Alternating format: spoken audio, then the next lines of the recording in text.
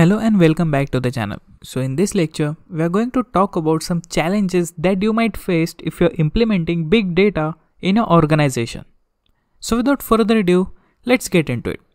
So nowadays, no organization can function without a huge amount of data these days. So big data challenges includes the best way of handling the numerous amount of data which will involve the process of storing, then analyzing a huge set of information on various data stores. So there are major challenges that come into way when we are dealing with big data, which needs to be taken care of.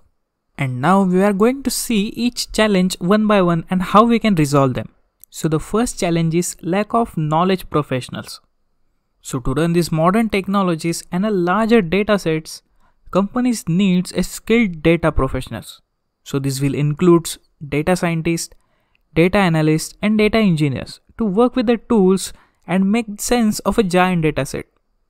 So one of the big data challenges that any company might face is a lack of massive data professionals. So this is often because of the data handling tools which have rapidly evolved. But in most cases, the professional haven't. So now we will see what are the actionable steps that we need to take care to bridge this gap. So the main solution being here is the companies has to invest extra money in recruitment of skilled professionals and they even have to supply training programs to the prevailing staff to urge foremost out of them. Another important steps taken by organization is purchasing knowledge analytics solution which is powered by AI and ML. So these big data tools are often traveled by professionals who aren't data science experts, but at least they have some basic knowledge. So this step will help companies to save a lot of cash for the recruitment. The second challenge is the lack of proper understanding of how massive the data is. So the companies fail in their big data initiatives all thanks to the insufficient understanding. So employees might not know what data is, its storage, processing, importance and the different sources. So data professional may know what's happening, but the others might not have a transparent picture.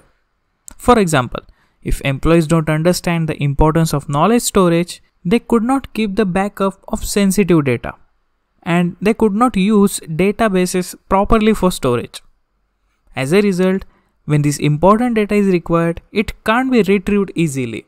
So we can overcome this by the big data workshop and seminars which must be held by companies for everybody. Also, military training programs must be arranged for all the workers who handles the data regularly and the neighborhood of large data projects. So all levels of the organization must include some basic understanding of knowledge concepts. That way we can overcome this insufficient understanding within the organization. The next challenge is data growth issues. So one of the foremost pressing challenges of massive data is storing this huge set of knowledge properly. So the quantity of data being stored in a data center and databases of companies is increasing at a huge amount. So as this data sets grows exponentially with time, it gets challenging to handle. And most of the info is unstructured and comes from either documents or videos, audios, text files and other sources. So this suggests that you cannot find them in the database. So companies choose modern techniques to handle this large dataset like compression, tiering, and deduplication.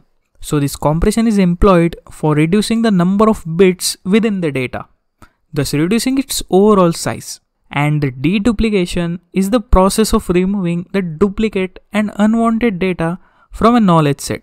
So this data tiering allows companies to store data in several storage tiers. So this will ensures that the info is residing within the most appropriate space of storing. So companies are also choosing big data tools like Hadoop, NoSQL and other technologies to encounter this issue. So the next challenge is, and it's really important to understand, which is confusion while selecting a proper big data tool. So companies often get confused while selecting the simplest tool for giant data analysis and storage. So you might ask questions like we should use HBase or Cassandra for simple data storage as well as is Hadoop MapReduce okay Or Sparks be far better option for data analytics and storage? So this question will bother companies and sometimes they're unable to seek out the answer and they find themselves making poor decision and selecting the improper technology. As a result, money, time and efforts are wasted.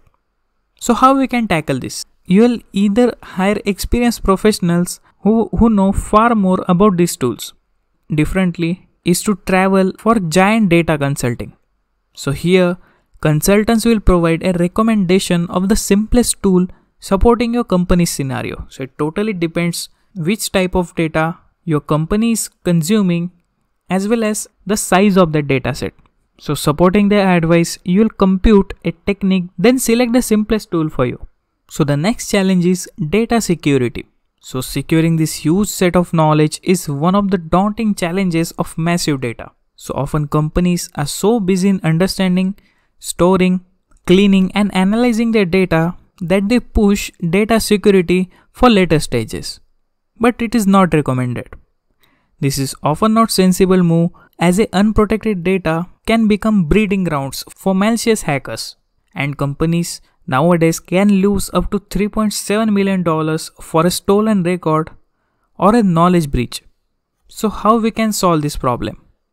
So nowadays companies are recruiting more cybersecurity professionals to guard their data and as well as other steps for securing big data includes data encryption, data segregation, identity and access control, and using the big data security tools like IBM Guardium.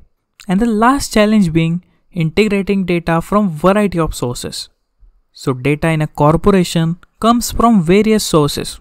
So we can take example like social media pages, ERP applications, financial reports, presentation, customer logs, emails, and the reports created by the employees.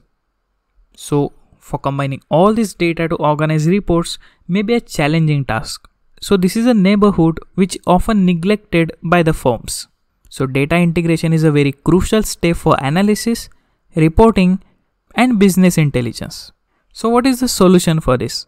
Companies need to solve their data integration problem by purchasing the proper tools and use them. So, there are number of simplest data integration tools such as Talend, Centerprise Data Integrator, IBM InfoSphere, Xplenty, Informatica Power Center, Microsoft SQL, QlikView, and CloverDX. So these are some tools for a good data integration. So this was all the major challenges which you can face if you're implementing big data in your company and how we can tackle them. So if you like this lecture, please subscribe to our channel and ring the notification bell to get the latest updates. And don't forget to follow us on our social media that have linked in the description below. Thanks for watching.